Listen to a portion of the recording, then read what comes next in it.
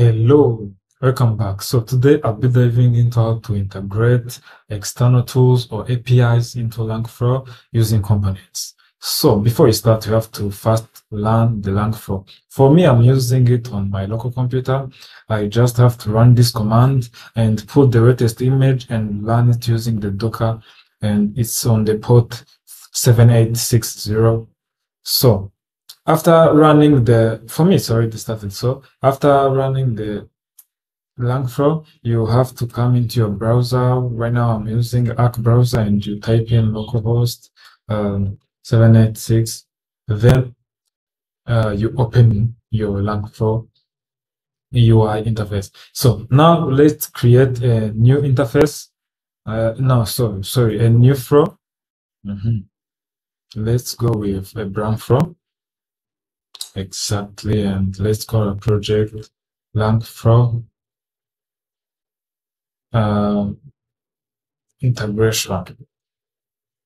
So I'm going to be teaching you like two things mainly. Uh, the first one is how to make a simple integration using Langflow. The second one is where we will dive on how now we can integrate a, an external API or an external tool.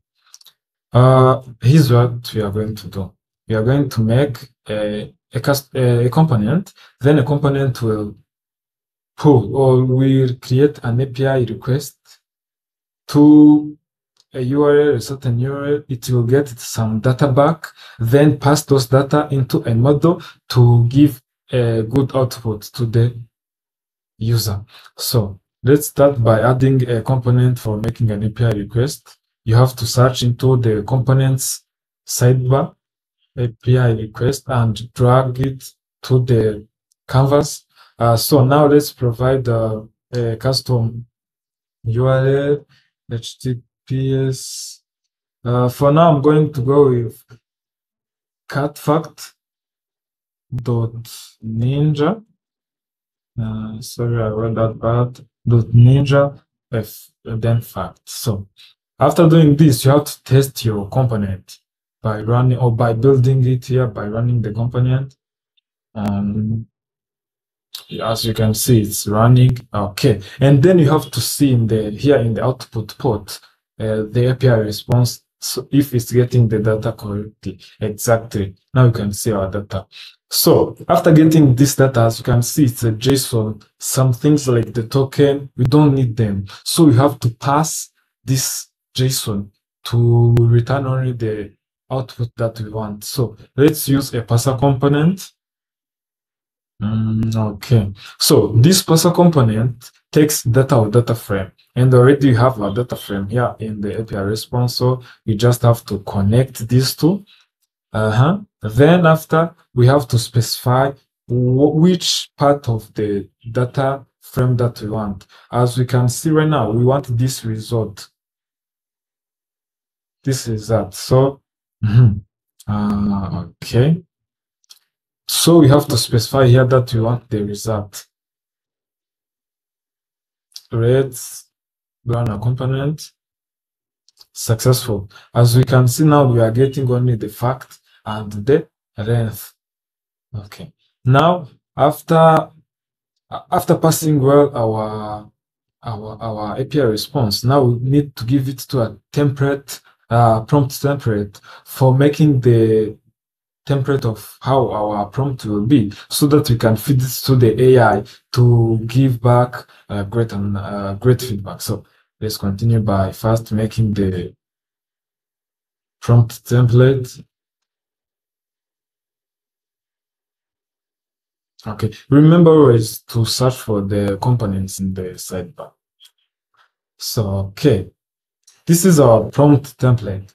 So we have to first connect the past text into our API, uh, into, sorry. So first of all, what we need in our API template, we need to tell the AI that the API uh, returned now API response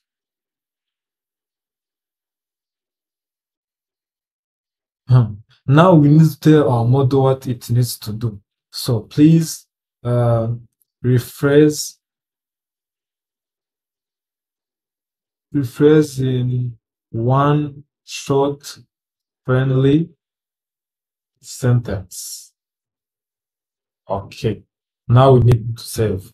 After saving, you see that we get uh, the input to insert our API response. So we need to connect the past uh, the one that we passed into the API response. Now you can see that it's receiving the input, if you can see well.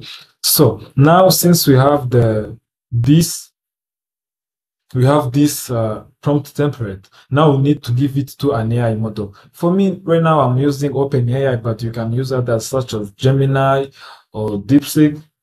Uh, so let's continue using OpenAI. Okay, let me put it here. Let me drag here a bit so to make it look clearly. So in our input, what do we need to provide? We need to provide the prompt. So we need to, uh, to connect the prompt with the input field of the OpenAI. Now we need to tell the AI what to do, like a, a, a simple message. Um, we can even use this one that we used here. Save and let's give it back. And we select the model that we want to use either the GPT-4 mini or any others. So you need to provide an api key. As you can see right now i have used them as as variables. Uh, but you you need to go to the platform of your ai that you want to use and you create a, a secret key then you put it here.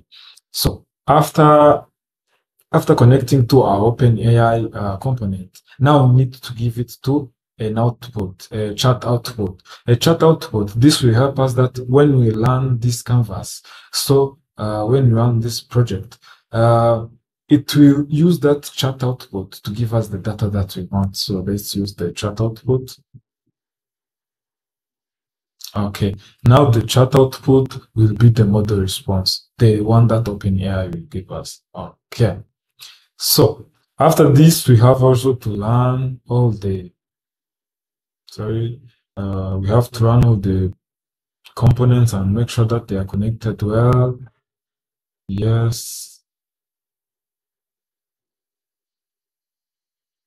As you can see, you have to sometimes wait, like it's validating if the API key is correct or any others. Uh -huh. So after we complete this out uh, workflow, we now have to run this workflow. We go on this uh, in the top left uh, right corner, we see the pre background, then we use it, we run the, we have to run the from. Okay, now as you can see, it's giving us a, a correct fact from the API request that we have made. It's now taking it and analyzing it and rephrasing it into a good friendly way. Did you know that uh, you can even run it again to get more facts? Yeah.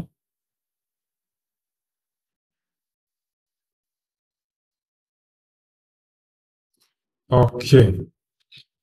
So now let's dive into now how we can make uh, the custom ones with, using the custom components, how we can integrate our own APIs into this one. So this is how we are going to do it. We are going to make a, a flow where we provide a username, a GitHub username of someone, then it will fetch the info of that person, analyze it and phrase it and give us a short intro of that person and everything. Okay. Mm. So right now we have to create a custom component. You can see here on the bottom uh, on the bottom left we have a button of how to create a custom component you just have to click this button and as you can see our custom component is already here.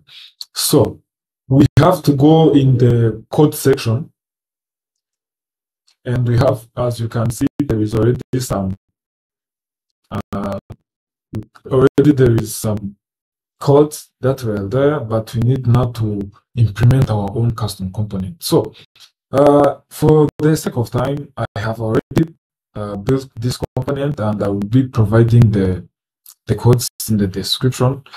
Uh, so let me just uh, copy and paste the codes, but we go through them. Okay.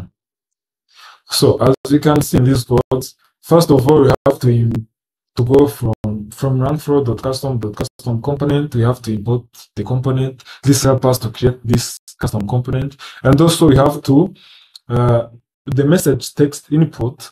This will help us to enter that GitHub username, and the output will be the one that this custom component will use to return back the data from the API. So other things you can go and read. You have to specify the inputs. We have uh, we have to message or sorry message text input and the output. Um, as you can see here, there is the message text input of uh, okay. Mm -hmm. As you can see, there is the username, GitHub username, the username to fetch, blah, blah, blah, and the other output. The output is the GitHub API response and to return the data. And this is the logic. Uh, as you can see, let me show you. Mm.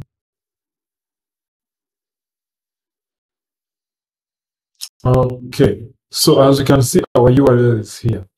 This is where we are providing the GitHub API so api.github.com slash user slash username.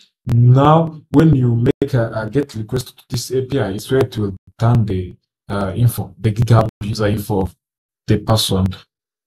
So let's we have to now to check and save. If it has an error, it will show you that there is an error. Then if it closes, it will mean that the checks have uh, run successful. Okay, now we have to provide like a username. Let me use my username, but you can use any other. Okay. Then let's learn this component. As you can see, it's learning. and we have to wait. Okay. Then when we come to the GitHub API response, we can see the info of the user.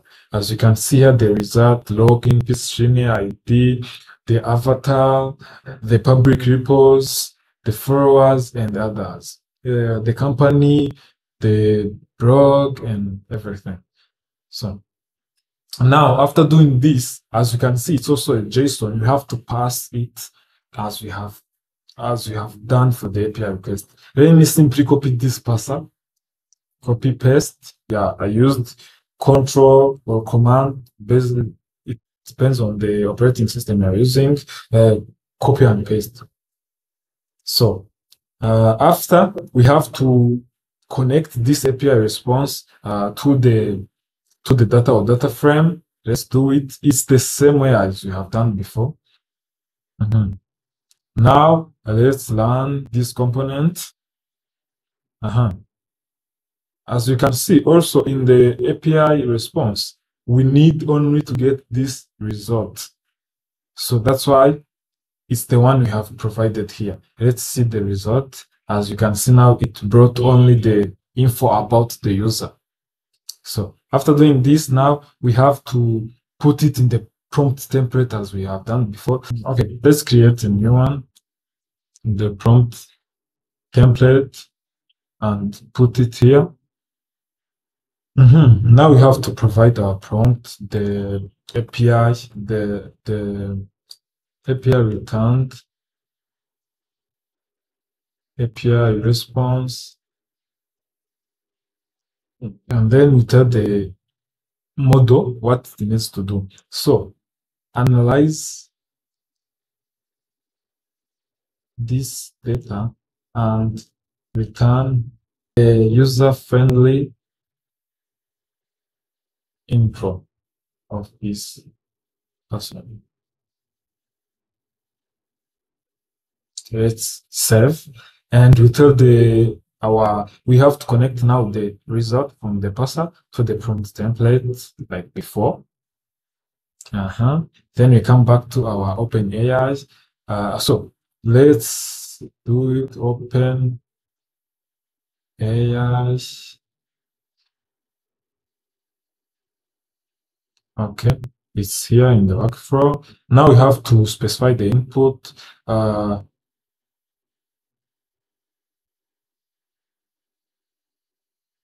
Okay, now we have to specify the prompt to the input of the AI. Like this, we have to connect them. As you can see now, it's receiving the input.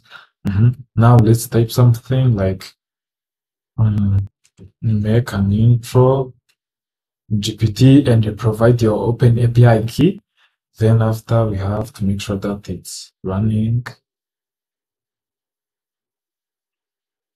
Uh, uh, okay, let's wait.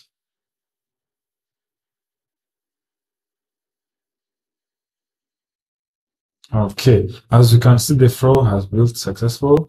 Now we need to provide the chat output. Mm -hmm. Now we have to connect it to our model response. Now, after doing this, we have to go back and run this flow in the playground. Let's run the flow.